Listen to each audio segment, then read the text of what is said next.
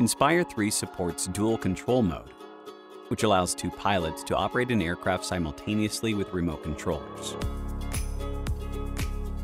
Before using dual control mode, the aircraft needs to be linked with both remote controllers. Launch DJI Pilot 2. Enter the home screen and tap Controller A or Controller B to activate linking. During linking, the status LED of the remote controller will blink blue, and the remote controller will beep. Press and hold the power button on the aircraft for at least 5 seconds. The aircraft power indicator will blink and beep twice to indicate that linking has started. When linking is successful, the remote controller status LED turns solid green. The remote controller beeps twice. When a remote controller gains control of the aircraft, the user can use the controller to operate the aircraft. When a remote controller gains control of the gimbal camera, the user can use the controller to operate the movement of the gimbal camera. After both remote controllers are linked and connected with the aircraft, the remote controller A, connected with the aircraft, gains control of both the aircraft and the gimbal camera by default.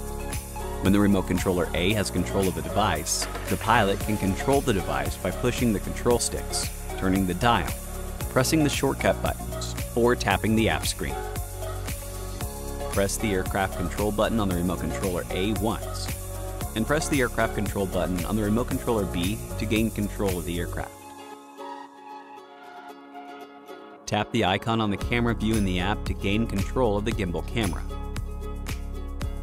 When the remote controller gains control of the aircraft, press and hold the aircraft control button to lock the control.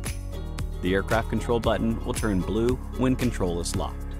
An aircraft control transfer mechanism will be triggered if the remote controller with aircraft control is disconnected from the aircraft.